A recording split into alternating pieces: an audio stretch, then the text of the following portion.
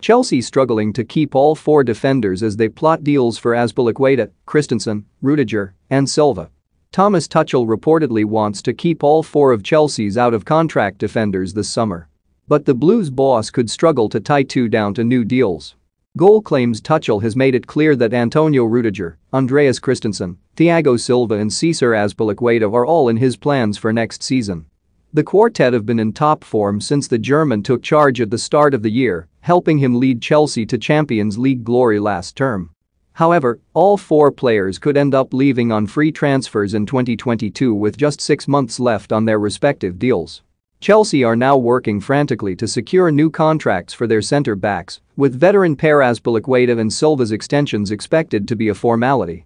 However, the futures of Christensen and Rudiger are more complicated. Chelsea have failed to give Christensen the numbers he wants after becoming an important fixture in the team.